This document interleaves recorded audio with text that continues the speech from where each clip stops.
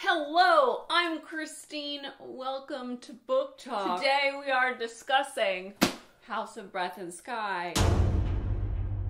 Day has finally fucking come. I finished Crescent City 2 last night, a year and three months after it came out, or a year and six months after. It. It's been a long time. There's a lot of reasons why I didn't make it through this as quickly as I wanted to. The ultimate being the pressure to do this because I was so busy writing on deadline when this came out and just feeling the pressure of creating a book talk that lives up to all my other book talks just really got to me because I knew I didn't have time to do it the way I wanted to. Now that pressure is finally slid off and I'm really just gonna take it easy today with this one. I'm not gonna kill myself doing this book talk, but I wanna do it. This feels a lot like when I finished Mark of Athena because obviously I didn't read this the second it came out and everyone was like Christine Christine just wait if you haven't read it right now I'm gonna warn you that I'm about to like just spoil what spoiled it for me which was something very mild but like I read a lot of books so anything mild will lead me to what happens so here we go with the mild spoilers that I got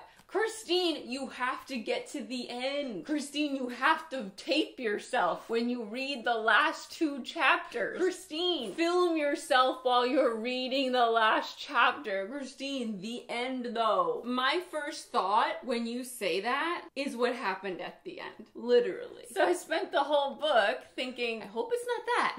I hope it's something else. And of course, I theorized a million different other theories that I was like, this would be amazing. This would be so cool because the other one felt like the most straightforward answer to the mild spoiler. And then it ended up being the straightforward answer, and I ended up being like, "Nah." Roll tape.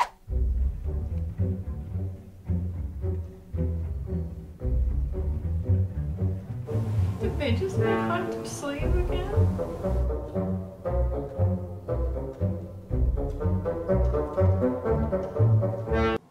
What? The first Crescent City book is absolute perfection. Sarah knocked it out of the park in such a profound, beautiful way that hit you so hard from every angle emotionally. Okay, I just rewatched that book talk, and Christine, after that book, me past me, is wrecked, okay, in the best way that you can be wrecked from a book. She had so much to live up to herself wise in this book. I feel like it it's like that second book syndrome, that second season of Westworld syndrome where like there's just so much to live up to. You can't possibly do it. The pressure is so overwhelming. I feel like House of Sky and Breath suffered from that because there's so many characters that it's hard to find the heart. Sarah's so fantastic at taking a character through an enormous arc. We see so much growth in so many of her books, and in this book, we don't have that arc to follow. We don't have that character. We don't have that heart in general that we usually have in all the other books.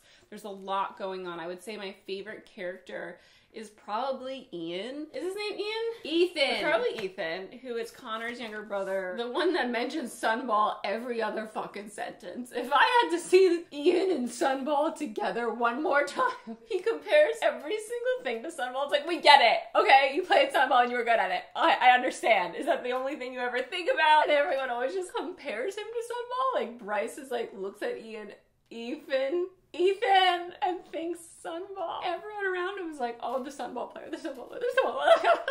and guess what? There's no Sunball in this book. It's irrelevant. After this book, I feel like we might be on a sort of throne of glass story trajectory where the world opens up in a huge way in book three and kind of changes our perspective on a lot of things going on. So obviously, we get a big world shift toward the end of House of Sky and Breath. I it's hard to talk about this book without spoilers. I'll just overall thoughts. It's not my favorite Sarah J. Maas book. I did obviously enjoy myself because I love all her characters, but I feel like it was missing the like true heart of any one character to lead us through it in the endearing, I can't stop reading sort of way you usually plow through a Sarah J. Maas novel. I think that is like a big reason why I didn't get through it as fast as I wanted to because I would pick it up again and there was just no one character that was really going through it. It was a lot of setup, there was a lot of sex, which led me to think we were foreshadowing something that also didn't end up happening in this book. So I'm, I'm really curious as to what the next book's gonna be like. I think it's gonna blow open some doors. I think we are going to maybe get another love interest for Bryce. I'm hoping. Don't hit me with anything. Time. We're gonna be spoiling now, so just leave if you don't want to be spoiled, okay? It's been so long. Like, I feel like everyone's read it except me. Since Bryce and Hunt are together already, there was no tension there. In the beginning of the book, there's this, like, no sex pact, which I was confused about. I was like, why?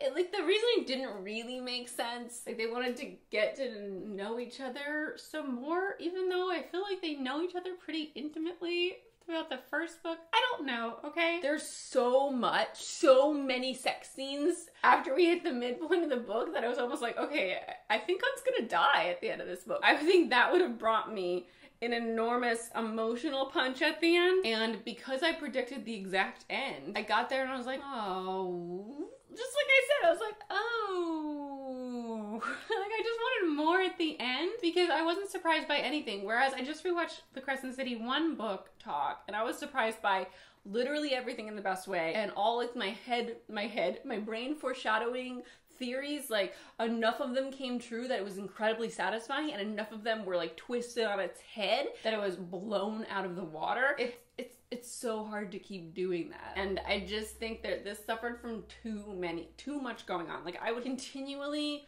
forget who people were. And okay, granted, I read this over a very, very long period of time, so that aided in that. But I don't know, there were so many new names that it was hard to keep track of every character. Let's take a look at my notes. Which I started 328 2022. We opened the novel with Sophie Renast. I really also am kind of confuzzled about this storyline because I really wanted Sophie to come back into play. I really wanted a meal to come into play, but they hmm. were mostly a giant misdirect. Sophie ended up dying, even though I was so sure. I was like, she can't be dead.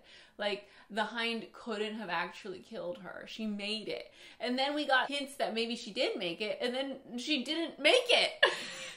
And that really was upsetting. That was an upsetting storyline to me, especially when Emile didn't have powers. Maybe it's a double misdirect and he does, and we'll find out in the next book. But as of right now, everyone's like, he's just a kid, and I don't think the Viper Queen would have let him go if she thought that he had more abilities. So I'm kind confused about this and very upset about it. I really loved the fact that Cormac was in love with her, and then we never got to see that come to fruition. And Cormac just explodes at the end of the book. He sacrifices himself for the cause. Like, I just wasn't a fan of that storyline, and it really kept getting me down. Like, she's a Thunderbird, which is so interesting, and we never really got to explore that power at all. What it means and how it relates to Hunt. From rewatching my Crescent City 1 book talk, I saw that it seems like he is the product of a hell prince and an angel getting together and having kids. And I'm like, okay, what does that mean for Thunderbirds? Like, how did that power come to be? Like, are they related in some way? I just wish we got to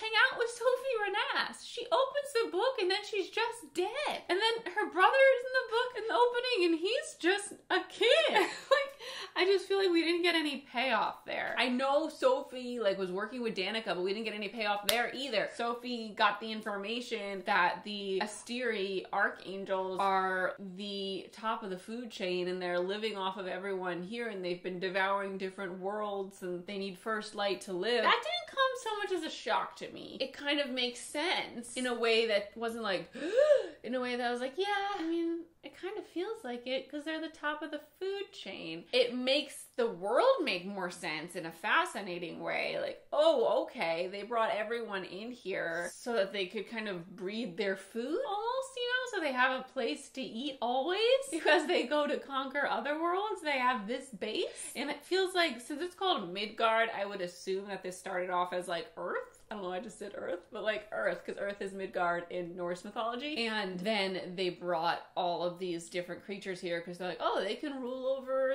the humans and they'll be happy because they're they have their own little hierarchy. And so much so that it will distract them from us being the hierarchy over them. The first light situation is still not clear to me. I mean, like making the drop, how that works. Maybe I have to reread the first book. I don't understand what's happening there. Like I know because she's like, we have to stop making the drop, but I thought the drop was to like cement your immortality. Is that like a lie? I don't really understand how the Asteri are making them do that to gain their immortality. Like, are the Asteri gifting them the immortality then? Is is the immortality not is that not part of like what gives you the immortality? Making the drop into your power and then like finding your way back out of it? I, I forget the details there. I just don't really get why it was such a concern where Connor is and where all the devils are because they they've passed.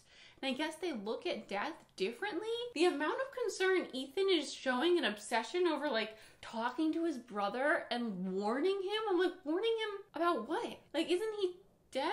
Like I, I don't I don't get it. When they say they're eternally resting, are they not resting? Are they just living in a different realm? Like the way they think about death is so confusing to me and the, the characters who have passed are still so prominent in the plot that i kept thinking like there has to be more here. Are we gonna get them back? Like are they not actually dead? Is death not the same? Like are they not just gone?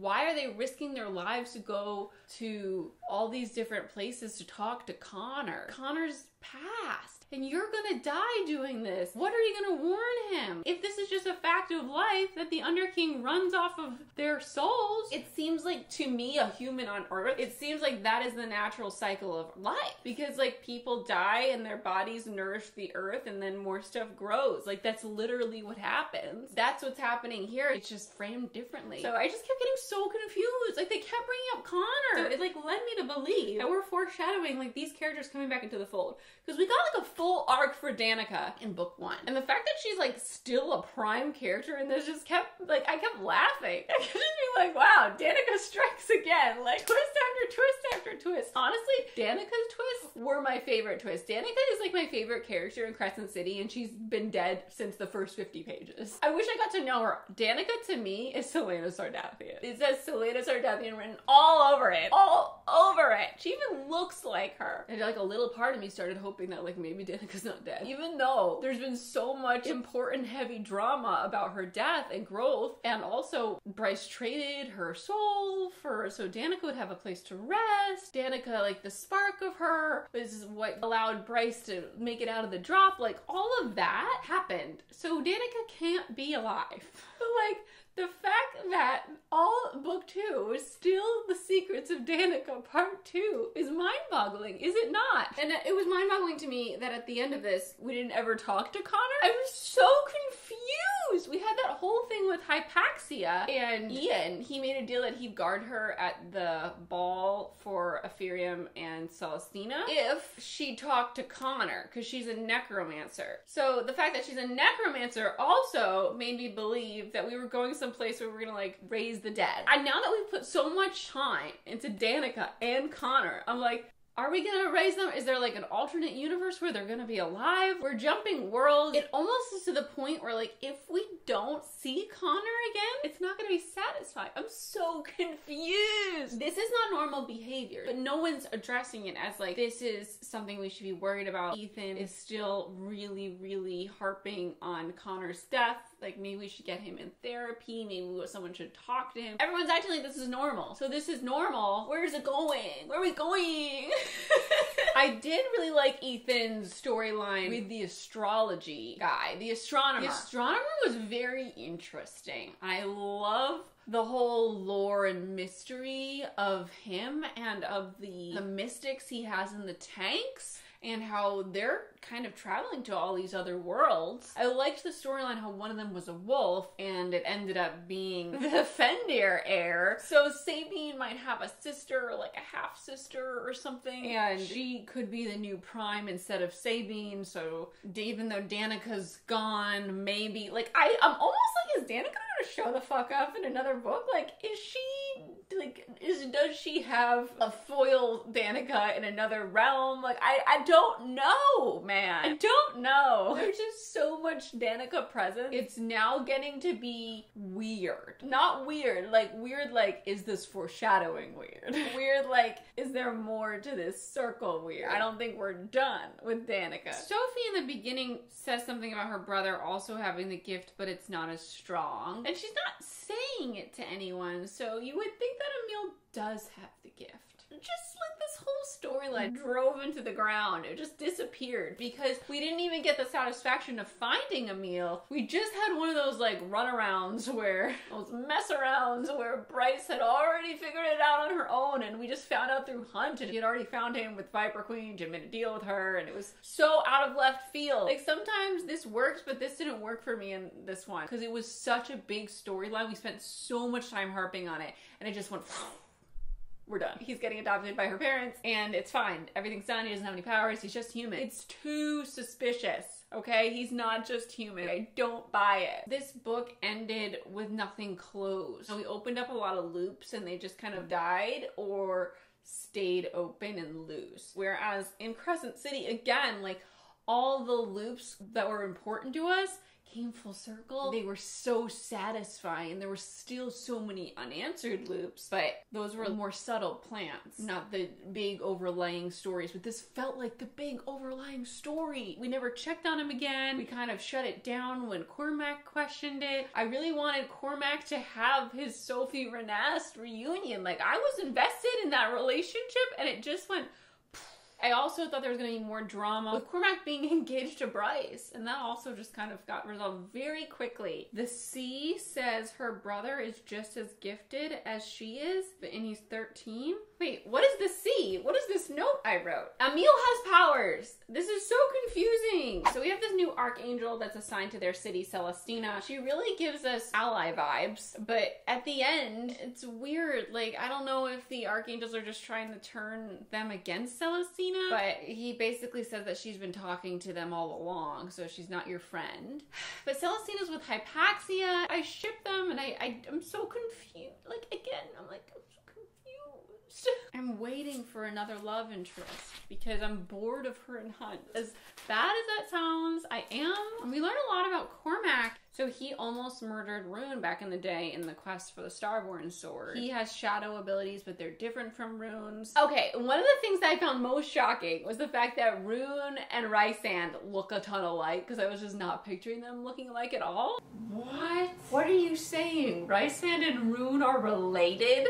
For some reason, Ruhn has red hair in my head. I don't picture him with like blue violet eyes. I don't know. But the fact that they like might share ancestry was such a shocker to me when in that final chapter. Like there was one thing that made me go, "What?" in that chapter and it was the Ruhn part. Like, "Ruhn? Is that you?" But it's Rhysand. So I don't remember if we learned this in Crescent City or if we learned this here, but the Oracle told Ruhn that the royal bloodline ends with you, Prince. By the end of it, he's like, maybe that didn't mean that like I die. Maybe it means that it's you're the queen now. Like you start the new bloodline. I have a big note that says, when are we gonna kill off the motherfucking Autumn King? Because he said your sister has one value to me: her breeding potential. This fucking douchebag. Ew. That's my note. And then, when are we gonna fucking kill him off? When are we? He, again, didn't end up playing much of a role in this. We didn't really see any kickback from her defying him in front of everybody. Because technically, Ruhn says that she now outranks him. She has more power than him? Is that what it is? I feel very wishy washy because there was just so much that it was impossible to take it all in. Cormac has a star mark just like Quinlan does. And at one point, he says that they both have them because they're predestined to be together. But we actually find out at the end of the novel that there are beacons to their previous planet, their previous ancestry. So whenever they're around someone who shares that ancestry, the star will glow. And whenever they're around like trusted, loyal allies, it will also glow. Now, I don't know what that means. Like, does it glow if you trust them? Or does it glow if like you can trust them? Because there's a big distinction there. Tharion has to the Viper Queen, and now I'm like, we cannot trust him, and he is in their midst. That was like the dumbest decision I've ever heard. I'm still mad about it. It's like the thing I'm most angry about with this book is that Tharion sold himself to the River Queen because I'm a big fan of Tharion. Okay, he's a very interesting character, and he's got a lot of gray areas, but ultimately he's a good person. He's another one that really shined in this book. It was Ethan and Tharion, and I loved when they were working together. To escape the River Queen, he pledges himself to the Viper Queen, and he has to drink her blood to do so, and he's going to be like a fighter for her. And he he sold himself to her. He's now a slave to the Viper Queen. By drinking her blood, it's kind of like a vampire when you have a sire. There's a connection there where he has to obey her. And that's fucking scary. Like now the Viper Queen has a straight line to everything that's going on with Bryce and her friend. Like she's just got like a cell phone, an ear there at all times because it sounds like she knows exactly what he's doing at all times. She was like getting the fucking wa- Oh my god, we didn't get to see if he got to the water. We didn't even see if Tharion made it to water at the end. He needed two to two hours to get in water, or else he was gonna lose his gills. That's where my notes end. I have a few more on my phone that I kind of covered in like my instantaneous reactions. I'll just play those right now. I'm in the last three hours of the audiobook of Crescent City House of Sky and Breath. Danika had a mate that she didn't tell Bryce about, and that mate is the Hellhound, and he has the tattoo. Everything is possible through love. All is possible in her handwriting across his chest, and he just like casually mentions it now. I don't. What were you doing all this other time? I could have gone forever without picturing Hunt's balls slapping Bryce's ass. I could I didn't need that. If I have to hear him reference his aching cock one more time, I don't know if I can make it. Everyone in this book is so horny. I've never experienced such levels. Every other second of my life, one of them is fing each other. Tharion is talking to an unnamed leopard shifter at the party. Is it Lysandra? Because that's all I can think about. All I can think about. They had sex last night too.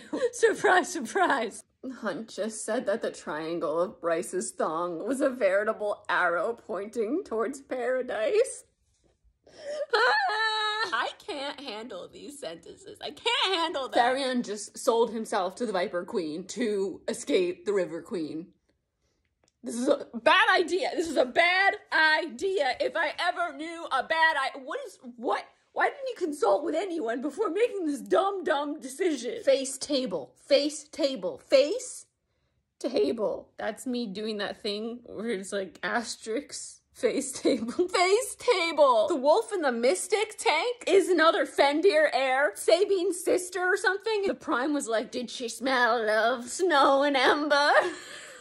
Did the lady you had sex with smell of snow and ember? I'm trying to imagine the smell of snow and ember. It feels like an oxymoron because if there was fire for embers, then there would be no snow. I guess, okay, it must be the smell of when you put a lump of snow over a fire to put it out.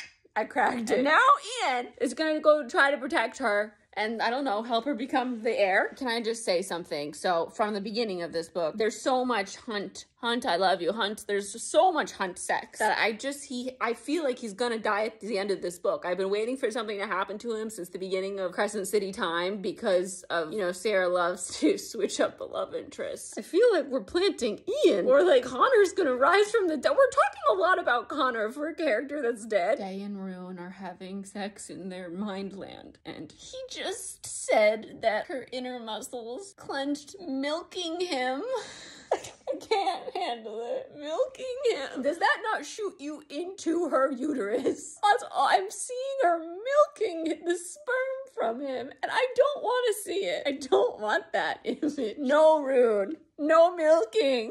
Danika, we found out Danika is a bloodhound, which means that she can sniff out your ancestry, which is really fascinating. And again, would love to know her ancestry. And she was hunting it down, and it's gonna be important. And again, I'm like, is Danika not dead? I we obviously have this new Fendyr wolf, so we're hopefully gonna get to know more about her as she acclimates. I'm just even confused as to like how the next book's gonna go because I feel like I've seen Sarah writing the next Crescent City and not the next Akamath book. I'm just gonna look it up right now. Yeah, House of Flame and Shadow is coming January 30th. So we have no news of Silver Flame. So this leads me to believe that we're gonna see next from Bryce's point of view. I don't know if the book is going to be her honing her powers finally. So she keeps hearing from Hell in this book that she needs to hone her powers. And we saw in the previous book that she has a relationship with one of the princes of Hell, Adis, Idis. They're kind of friends. They've worked together. And so we don't really question these princes of Hell talking to her. But in actuality, it was just one of the Asteri pretending to be a Prince of Hell because they wanted her to hone her powers so that they could use her to open the gates. Because back in the day, that famous Starborn princess closed off the gates, I guess using the horn, and locked all of the Asteri here on this planet. They'd have no way to open the doors to travel between worlds anymore, to conquer more worlds. They need that horn to open shit back up so that they can continue to move around the universe. But the Fae overpowered the Asteri when the Asteri tried to conquer their world. The world that Rhysand lives in did not let the Asteri take over. They had enough power to withstand and hold their ground. We have a lot of creatures in that world from those really mm. intense times that I'm like, are they Asteri that just didn't get any first light to feed on? You know, that monster in the basement of the library in like Court of Wings and Ruin, like was that an old Asteri that was gonna eat her? You know, it was the Weaver an old Asteri that wanted to eat her. You know, it was was the Bone Carver an old Asteri? Is Armin an old Asteri that like took the form of a Fae? I'm very interested in knowing more now that we know more because that happened 15,000 years ago. Okay, and Armin has been around for all Amrin, Armin, Amrin, is it Amrin? Amrin has been around for all of What it. What I didn't like, what like really frustrated me reading that last chapter was like, it took her so long to realize she's not in hell. Which, okay.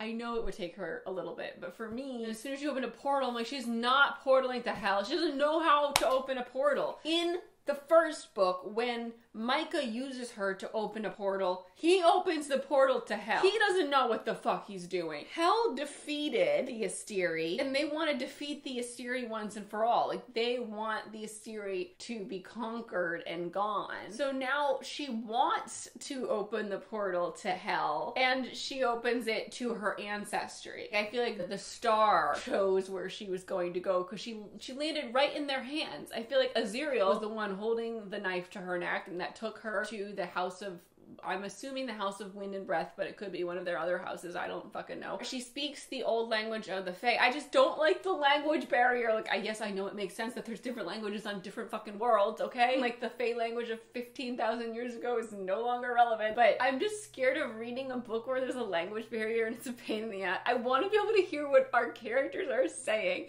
That was so frustrating. Like, everyone comes in, they're talking to each other, and she doesn't know what they're saying.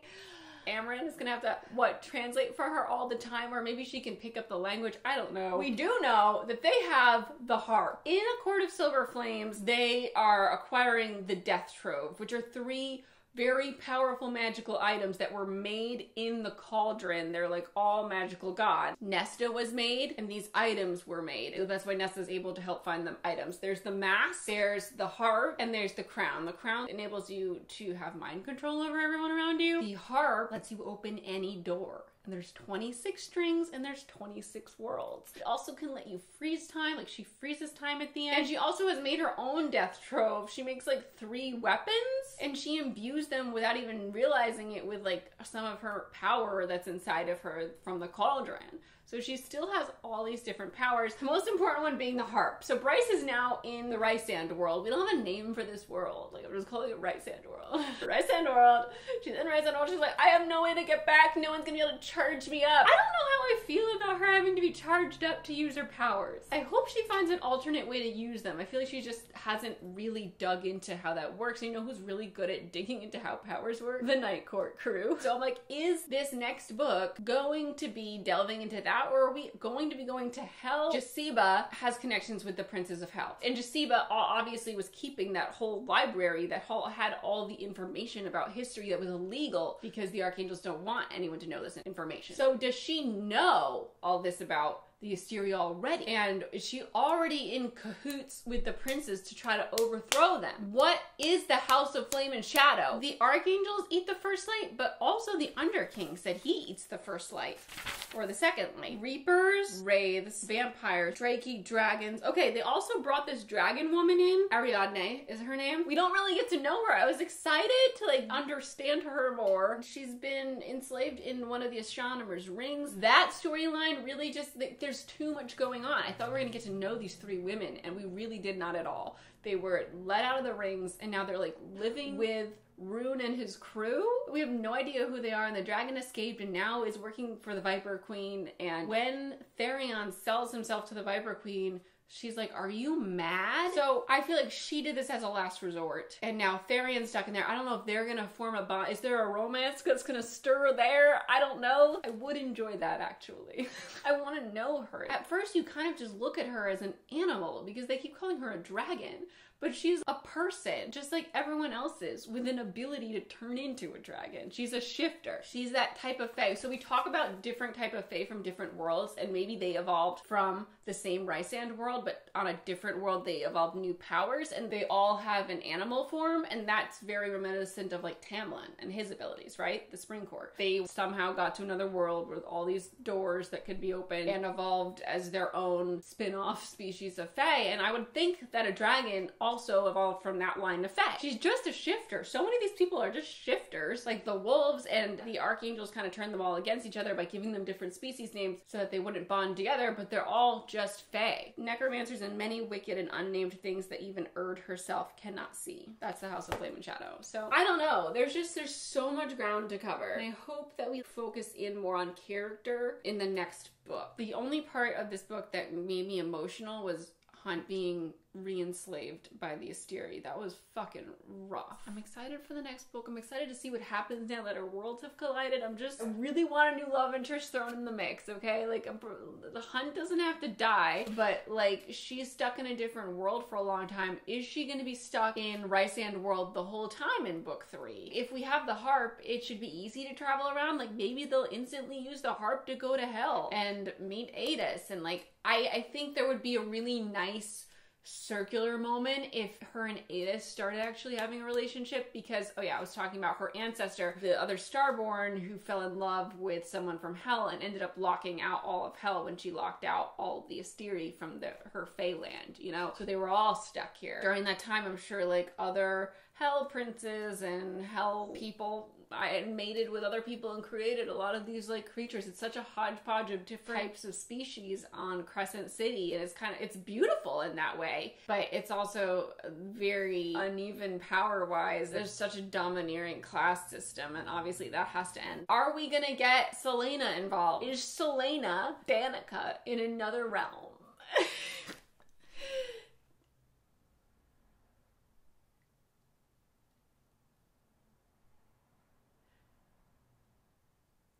She could be related to Celaena. The possibilities are kind of endless there because we don't know how that connect, but we know that there are word keys and shit. Feels like if we're gonna tie together these two worlds, I know we don't really want to bother Aelin, okay? We don't, but there's a lot over there that we didn't really resolve. Like, what's Dorian doing? What's everyone doing? what will House of Flame and Shadow be? Like, it's so much to think that we'll be both in Rice Rhysand World and in Crescent City, right? Like, that's just a mind fuck. It's a mind fuck to try to even think about it. And obviously that's going to come first. And what does that mean for the Rhysand world, right? Because they have this greater evil Koschei that's coming and Rhysand and Feyre are like struggling with the idea of having to take up a king and queenship of all of Prythian to unite them against this greater evil, and we don't really understand this greater evil, this Koschei wizard guy who's stuck in a lake. I don't know. It's going to be really interesting to see how it progresses. Now that Bryce has ties to them, is she going to help with that? I would have thought that maybe she would have like been stuck there through their book. Then we would have got House and Flame, House of Flame and Shadow, but House of Flame and Shadow is coming first. So like, I don't know. Are they all going to be working together for the rest of time? Like, is she going to visit with them now that she has like she has a horn in her back? So once she masters it, will she be able to like jump worlds so easily? Easily? And they have their harp, so is it easy? Or like, is there a toll that comes with using this magic that's too intense for them to travel all the time? There's so much. I'm overwhelmed. And that's how I felt throughout the entire book. Oh, I didn't even talk about Ruhn and Day. I was really invested in Ruhn and Day. I was very excited. And then like it passed through my mind that it could be the Hind at one point. But she was so nice that I was like, that doesn't really make sense. But as soon as he went to meet her at that party, and the hind was the only other person other than the harpy, I was like, it's her. And uh, the fact that he didn't even think that it could be her really. And then we didn't really get to see them more. I, he locked her out of her his brain at the end. I just i wish there was more of an epilogue there. Like nothing had an epilogue. The epilogue was just Ithan going to get the wolf out of the tank at the astronomer's place which, how did he get in there? Now that it's been broken into a million times, you'd think he'd have really intense security. he just like went in, he's like, wake up! And she opens her eyes. And that was like the big ending. I wanted to see Ruhn talk to Lidia. Where is Lidia from? What is her backstory? I just feel unresolved in a lot of different things. Like my favorite part for a lot of this book was the Ruhn day meetings. And then I wasn't surprised when it was Lidia at the end. And then Ruhn didn't have a full arc with her. I just want someone to have a full arc. Like we need a full arc of something at the end of a book, you know, to feel satisfied. I'm really excited for the next book. I feel like she's now like set a lot of things up. I can only imagine the amount of pressure there was trying to set up so many different storylines so much so that like there's no time. This is so big. There's no time to bring anything to the end because there were so many. One of the reasons why Court of Silver Flames is so good is because we only focus on really two characters, and I love that. And I hope that there's a narrower focus in the next book. I feel like Ithan is being set up as a love interest. I'm okay, I'm a sucker for brothers in love with the same girly. If you listen to my podcast, I've talked about it a bunch with Natasha on there. Like the trope of two brothers being in love with the same girl, like the Vampire Diaries. Oh, it's my favorite. Ithan had a big crush on Bryce before Connor even met her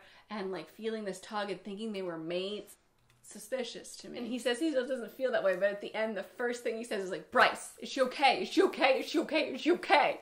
And I'm like, her and Hunt aren't actually mates. They decided to be mates. They didn't have like a thing that snapped into place. And that's like what we've learned mate things is. Like, doesn't necessarily mean you love them, but this bond snaps into place. And it feels like Ithan felt that. And I like Ithan. And he's really coming into the forefront of our character group. So it would be really interesting if she forged a, a, sort of romantic like chemistry bond with someone in the Rhysand world. I don't want her to cheat on Hunt, but like considering the circumstances, there could be tension with somebody. Every one of Sarah's characters has lots of love interests. I want like someone from hell. I want Aidas in her. What if she gets involved with like Azriel? I think it would be really sweet if something happened with Ithan and she started to see him in a new light for some fucking reason. I don't know. There's so much. There's so much. So I'm gonna wrap this up. I, please share your thoughts, okay? I hope the best for Hunt. I want him to be happy, and I'm very upset about what's going on. I feel like someone had to die in this novel, and Cormac is like the new character that we don't really care about, especially since he doesn't have any ties to anyone. And without that emotional punch, it didn't feel satisfying because they were in such high stakes. Maybe I'm being too harsh on these characters. I just did not feel satisfied. I want the punch. I know we've, I know Danika's not there. Like Danika was a huge loss, but that's part of what made Crescent City so powerful is that she was gone. That all those characters we bonded with in the beginning were gone, taken away. Without something that powerful in the second book, emotionally, we did not have the same room to grow in our mentally. And it doesn't have to be a death, but there was no blow like that. The blow maybe was Sophie not being alive, but none of them knew Sophie. I'm Christine. I have two novels out, and my third one should be coming up for pre-order sometime in the next few months and I, I'm so excited to talk more about my it. My first book's called Again But Better, my second book's called Better Together and if you are interested in checking them out, there's links in the description below and I'd really appreciate your support there. I'm on Instagram as XtineMay and Twitter as XtineMay and TikTok and all the places. Thank you so much for watching. I'm Christine and I will see you next